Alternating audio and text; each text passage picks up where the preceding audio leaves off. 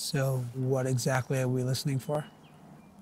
Uh, well, they've got a couple different kinds of calls. They got a short call that sounds sort of like this. Uh uh uh uh uh uh uh uh uh. uh. Joseph, I never want you to do that again. so we're looking for something called pika. Yeah, pikas. What are pikas? They're a little rabbit relative. They can't live in warm temperatures and they're restricted to just the tops of the mountains. Oh, there's one. Nice. Yeah, it was a nice long call. Three years ago when I was here, there were more pikas here. And now hardly at all.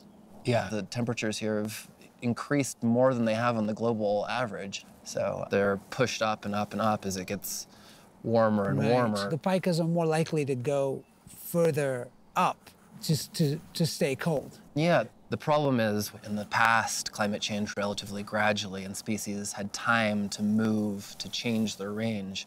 Now, if we sort of just project how fast animals can move and how long it is between generation times, animals aren't going to be able to keep pace. They're not going to be able to move north fast enough. But it's not just pikas that are threatened. Pikas are, you know, sort of a canary in the coal mine for what's happening with climate change. Uh, in Yosemite, you know, more than half of the small mammals they looked at were disappearing from low elevation sites. Could there be other reasons why the pika are disappearing and not just climate change? They're not hunted for food. No, people don't hunt them. Their skin, It'd be a really small skin. maybe yeah. like You'd need a lot of them to. half a glove yeah. at the most. This is one of those cases where it seems to be just climate change. It's definitely just climate change. That's what all of the evidence is pointing towards. I'll be honest, I'd never even heard about the pika before. But now, I'm worried about the little guy. There's a bunch of species that live in what we call sky islands. If climate change is pushing high elevation species out of their habitat, are there other ways it's impacting animals around the world?